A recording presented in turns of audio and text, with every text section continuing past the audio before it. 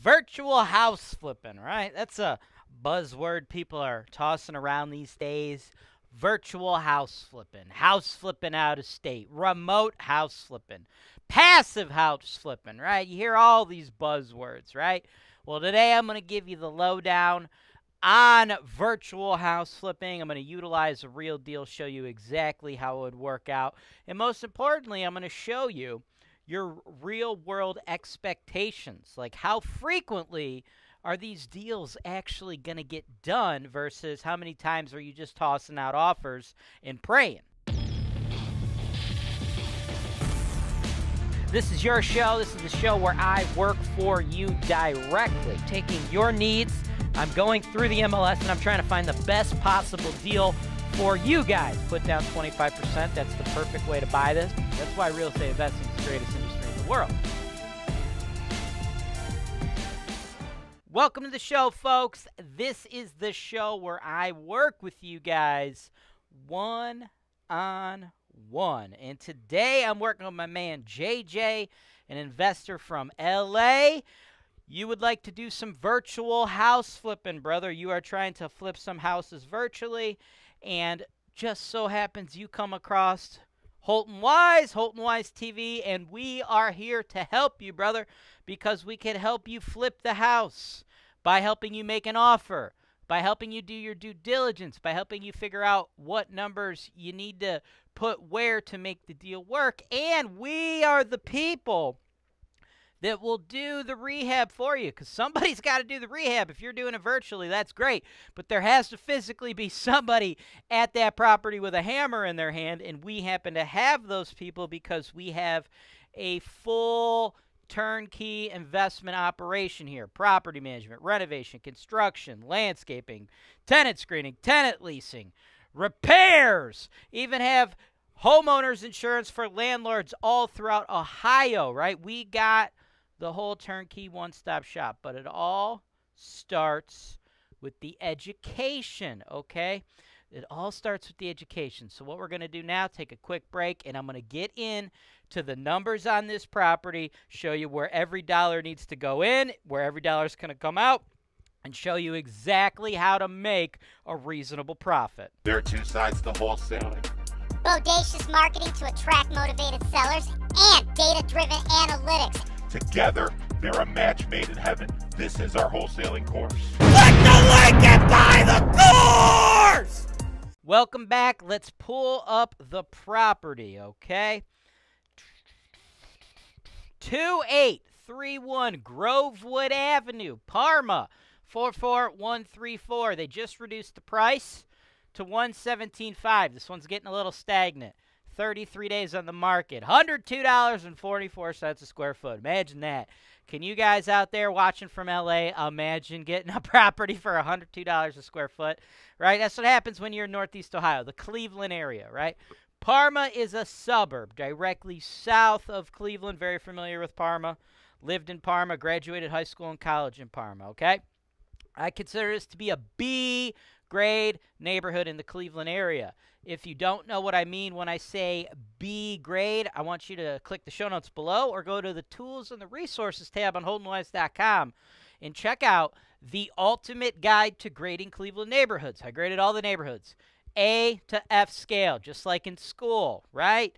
A, that's going to be low risk, high cost, high owner occupancy. F, high risk, low cost, low owner occupancy, right? B, B, B is pretty close to the top, right? A is really never going to work for long term rentals. It's really going to be owner occupants and maybe some luxury Airbnbs, okay? B is going to be a mix. Sometimes you can get some rentals, but more or less, the neighborhood pricing is going to be driven by owner occupants. This area is like a first time home buyer area, right?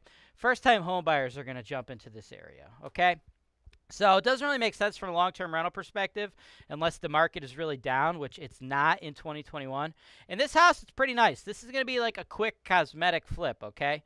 What they did is they did a pretty good job, like making it pretty like decently new looking for a first time home buyer. They got the gray, they got the fresh carpet, they got the white paint.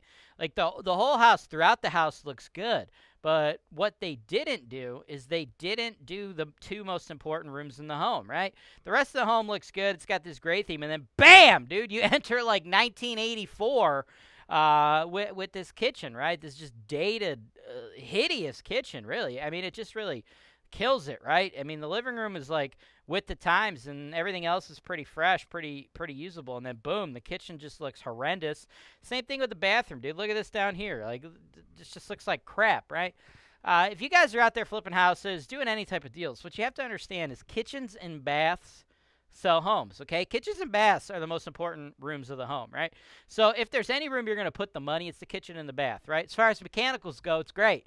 That looks to be a fresh, brand new hot water tank. That looks like a fresh, brand new furnace, right? So whoever this person is, like they did everything, like they literally just like renovate. It looks like they renovated everything on this house except for the two most important rooms. And there you got a nice AC. That AC, that's great. You don't see that all the time uh, in the Cleveland market, so it's very good when you have an AC. Okay, so kitchen and bath. They didn't do the kitchen and the bath. Okay, they should have. That's the most important room. And that's where our opportunity lies to potentially flip this deal. But I got to be honest with you. Yeah, I got to set the proper expectations, right? You're going to be doing flipping. Flipping houses like this off the MLS, the margins are incredibly thin because there's a lot of people that are going to want to buy these things, right? If you're really going to be successful flipping houses, you got to do one of two things, perhaps both, right? One is if we're going to flip houses off the MLS, you need to know your closure rate of actually getting the deal for the price you need to get it, which I'm going to give to you momentarily, right? I'm going to give you all the numbers. I'm going to give you the most you can pay for this to make a reasonable profit. But you have to understand when you're flipping houses and they're already listed on the MLS with a real estate agent or a real estate broker, the odds of you doing a deal where you can make enough money and flip it are probably going to be pretty low, right? There's going to be other people out there that could pay more because they have thinner margins than you, right? For instance, people like myself, real estate brokers, they don't have to pay commission when they sell, right? And then when they buy, they get a commission, okay? So just by that alone, right, they could probably pay at least 7 to 10% more than you and make the same profit. Additionally, contractors, right? You got people out there that are realtors and contractors. They save on those margins, right? So you got to think of that stuff. So oftentimes, the best flippers are the best marketers, the best people that can market distressed sellers before the house gets put on the market. Oftentimes, I get investors, they reach out to me. They're like, Hey, James, do you ever deal with off market properties? Yeah, motherfucker. Every single day. I'm a real estate broker. How the fuck do you think properties get on the market? I fucking put them there, people. so all you people out there that are like, ah, you get off market properties? Yeah. Some bitch every fucking day.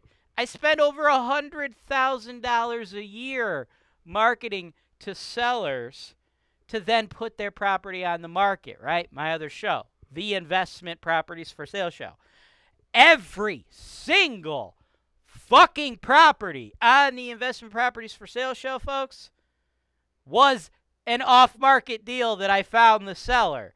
And then I put that some bitch on the market because that's my job, right? So if you're out there and you're thinking of asking your realtor, do off market deals, don't do it because he's just going to kick you in the dick because he thinks you're an idiot, okay? So don't ask people that question, guys. That's my tip to you. That's a pro pro tip. Okay?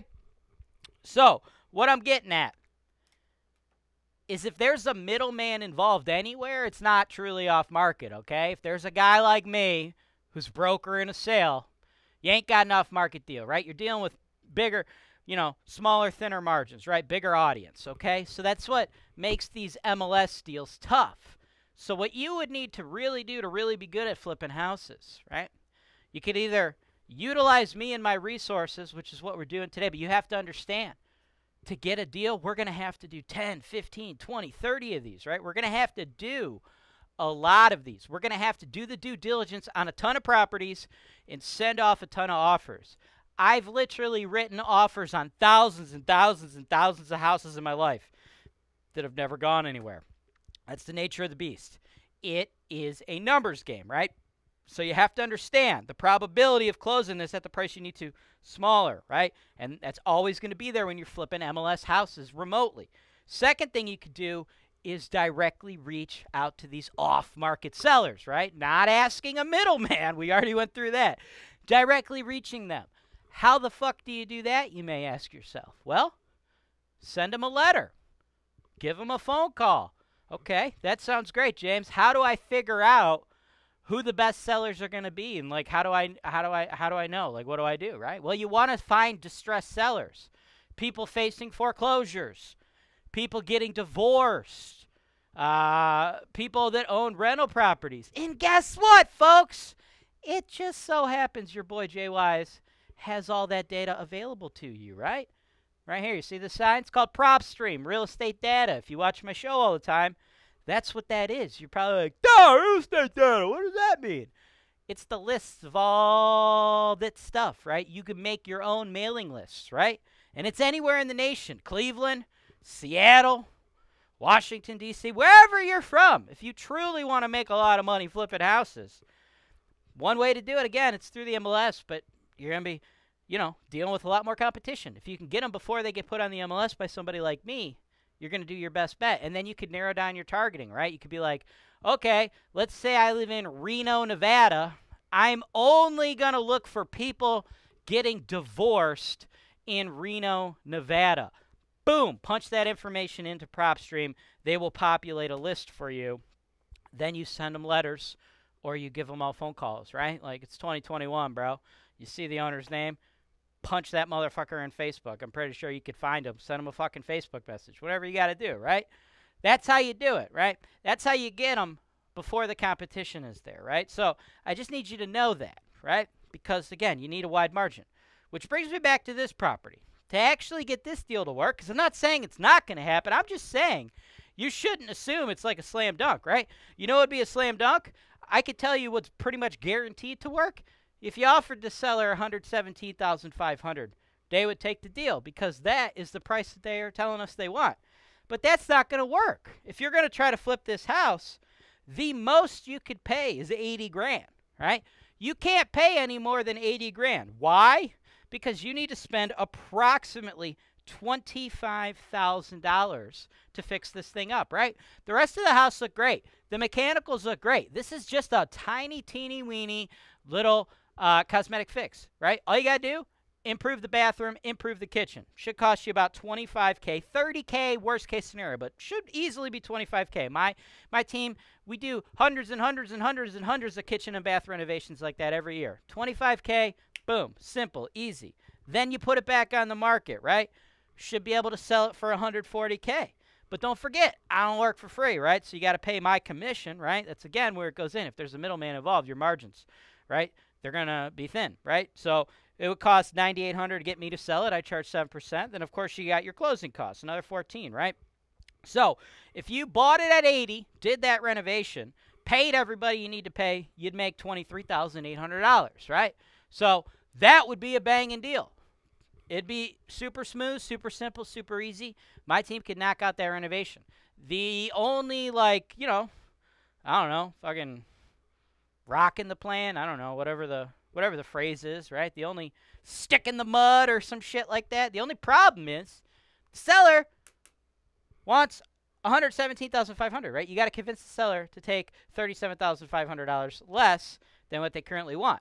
With it being on the market, I don't see there being like a high probability to that because I think there's going to be a lot of people that be willing to pay more than $80,000. But $80,000 is the most that you can pay, right? So if you want to continue to try to flip houses that are on the MLS, like I said, we're going to probably need to do 10, 20, 30, 40 of these to get you one of these deals, to get you one of these $20,000 profits. Or, like I said, you'd probably be better served to spend your time, effort, and money uh, reaching sellers directly in whatever market you prefer. And you could do so by signing up through PropStream. And guess what, folks? I got a link to that in the show notes below. You get a free trial so you can test it out. And then after that, since you're a Holton Wise TV viewer, you get $3 a month off their software every single month just because you watch Holton Wise TV. That's all I got for you. Thanks for watching. Subscribe to Holton Wise TV for more financial information, education, and entertainment.